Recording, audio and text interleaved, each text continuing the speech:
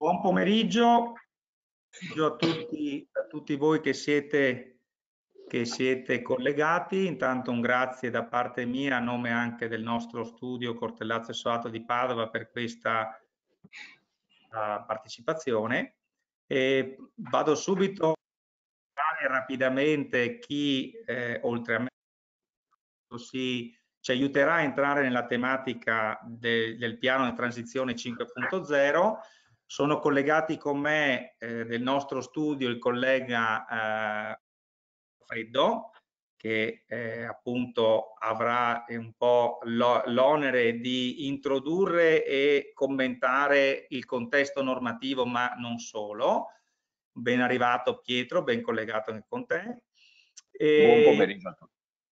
E con noi anche del White Energy Group veronese, Franco Asuni. Buon pomeriggio a Franco. Buon pomeriggio, buon pomeriggio a tutti, grazie. E, e con te Franco anche l'ingegnere Alessandro Spiri che saluto. Buon, buon pomeriggio Alessandro. Buon pomeriggio, buon pomeriggio a tutti. Bene, un, saranno un'oretta e mezza eh, diciamo abbondante e intensa. Eh, io ho concordato con i colleghi di eh, introdurre un attimo la tematica e di cercare anche magari di sensibilizzarvi su quelli che a mio modesto avviso possono essere gli aspetti eh, ai, per i quali prestare un po', un po' di attenzione. E tra di voi ci può essere chi è già molto preparato di questa materia o, o piuttosto ci può essere anche qualcuno che ne sa poco, è molto diffidente, lo ha percepito come una tematica eh, diciamo di eccessiva normativa. Eh, innanzitutto partirei dal ricordare che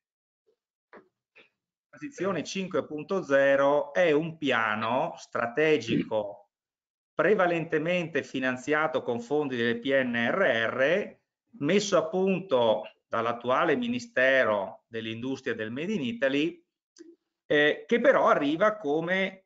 successivo passo di una serie di passi che sono iniziati direi nel, dal 2016 con l'inizio di quella che è stata l'industria 2.0 come iniziativa di incentivazione e quant'altro. Infatti l'elemento eh, da cui vi prego di tenerne conto è che si parte sempre da investimenti che rientrano in quella che era ed è tutt'oggi il perimetro di Industria 4.0. Quindi eh, il, il piano di transizione 5.0 coesiste e mi viene da dire potenzia di molto quello che può essere il sistema incentivante eh, già presente per eh, Industria 4.0. In che termini lo può potenziare? Lo può potenziare in termini di maggior valore dell'incentivo, che come molti di voi sapranno già è un credito d'imposta, legato agli investimenti che devono essere fatti, ma non solo, lo può potenziare perché questo credito d'imposta, invece che essere utilizzato in tre rate a partire dall'anno successivo,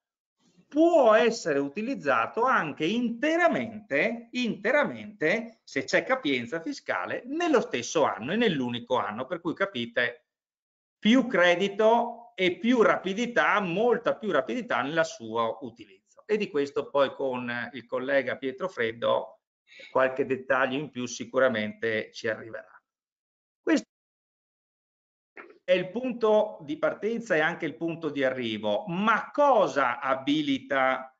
eh, eh, questo effetto boost di, eh, di transizione 5.0? Viene abilitato con gli investimenti che vengono fatti,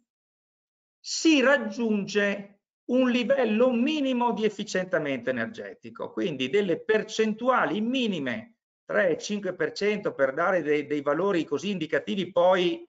gli amici di White Energy ci aiuteranno a entrare bene in queste dinamiche anche con degli esempi concreti che sono frutto di loro già esperienze presentate e approvate dal GSE. Ripeto, se si riesce ad agganciare anche l'efficientamento energetico e non solo eh, l'industria 4.0, la sua diciamo interazione che è prevista, interazione da un punto di vista di connessioni e quant'altro, allora hai questo elemento premiante, altrimenti ti devi accontentare del credito,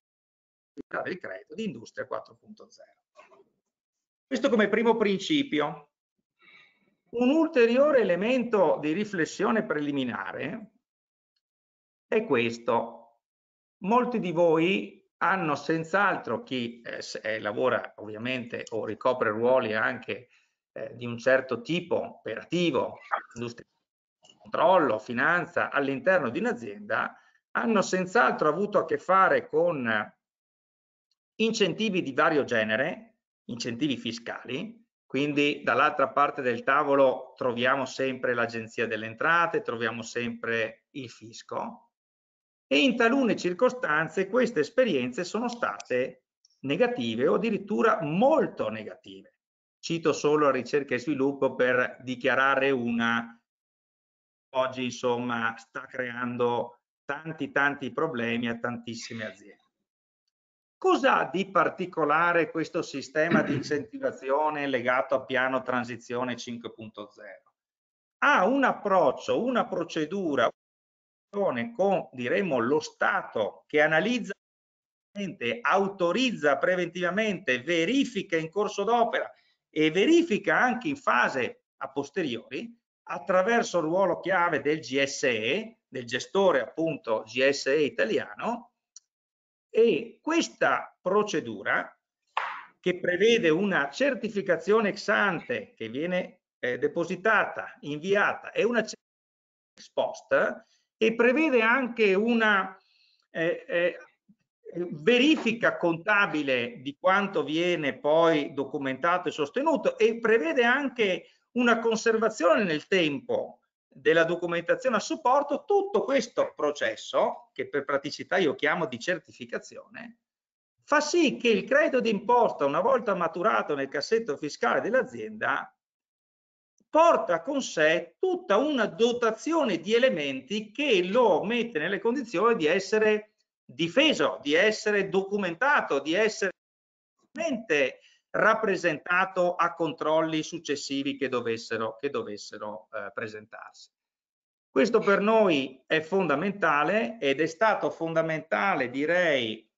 sia per comprendere che eh, per il nostro studio, per poter approcciare su questa tematica, visto che eh, di crediti fiscali e anche negli anni più recenti ci siamo eh, ampiamente, ampiamente eh, dedicati, ma questo eh, non può prescindere da una serie di competenze eh, necessariamente molto professionali, molto anche specializzate da un punto di vista tecnico, da qui il confronto con la struttura appunto di White Energy Group e da qui l'idea di chiedere anche a loro di poter collaborare con noi nel proseguo per dare supporto alla clientela e alle aziende su questa partita che è una partita, mi viene da concludere, bruciante, perché sicuramente qualcuno di voi avrà letto o sarà già documentato sul fatto che la si chiude per quanto riguarda transizione 5.0 attuale il 31-12-2025, quindi un paio di mesi per le idee, dopodiché se si vuole fare i progetti devono partire sicuramente prima della fine del corrente anno. Mm, spero di avervi dato qualche elemento uh, di riflessione di apertura e per aiutarci anche a tarare meglio quelle che sono le nostre, le nostre relazioni, tra pochi minuti passerò subito la parola al collega Pietro Freddo, eh, vi chiedo la cortesia di tenere un po' e di guardare quello che è il sondaggio che vi vado adesso a proporre e eh, ve l'ho mandato eh, e vi chiedo quindi la cortesia di poter in qualche maniera dare una qualche risposta proprio per condividere velocemente anche eh, con i miei colleghi l'impostazione che, che, che questo webinar eh, dovrà avere alla luce di quelle che sono le vostre percezioni. Di... È una normativa questa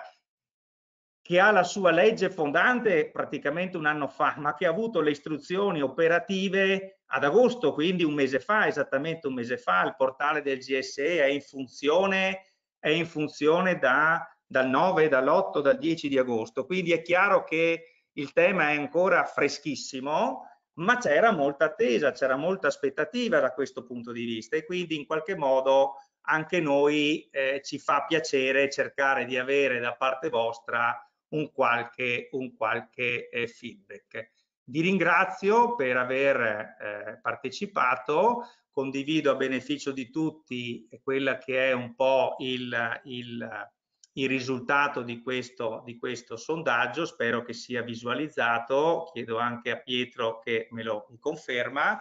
Abbiamo appunto eh, per un 45% eh, un certo interesse, eh, per un 20% viene comunque percepita molto complessa eh, la sua progettazione, eh, un 10% sa bene o male stiamo parlando, un 20% di risposte, ovviamente sono risposte multiple, ma c'è comunque un quinto che vede un obiettivo con, con tempistiche molto corte, quindi è, in effetti è una delle tematiche che, eh, che, che sono sul tavolo, sono anche sul nostro tavolo da, da tempo, e sempre un 20% che, al quale speriamo di dare informazioni sufficienti oggi perché dice devo ancora capirne insomma un pochino uh, meglio di cosa, di cosa si tratta. Molto bene, eh, grazie eh, per questa, per questa eh, anche vostra eh, interazione. Allora, mh, io a questo punto eh, passerei la parola al collega Pietro Freddo eh, che ci segue e ci introduce tutta la parte del contesto eh, normativo. Eh, agli amici Alessandro e Franco di White Energy Group ripasseremo invece la parola tra una mezz'oretta e, e auguro a tutti un buon ascolto e una buona prosecuzione.